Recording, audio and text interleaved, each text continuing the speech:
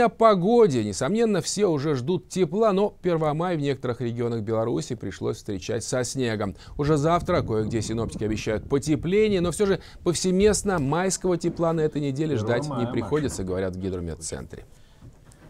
Температура среднесуточно сохранится где-то 1-1-2 градуса ниже нормы.